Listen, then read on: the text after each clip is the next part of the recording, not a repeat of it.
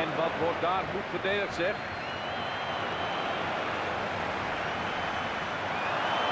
Jovetic. Oei, daar gaat iets niet. Hij doet het. Goal! Ze hebben dit seizoen veel tegenslagen gehad. Ze staan niet waar ze hadden willen staan.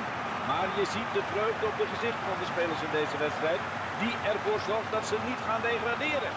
Ja, die ellende blijft ze bespaard. Ook die bal verdwijnt weer in het doel. En dit is niet de eerste vandaag hoor. Nee, en ik denk ook niet de laatste. Laten we die goal nog.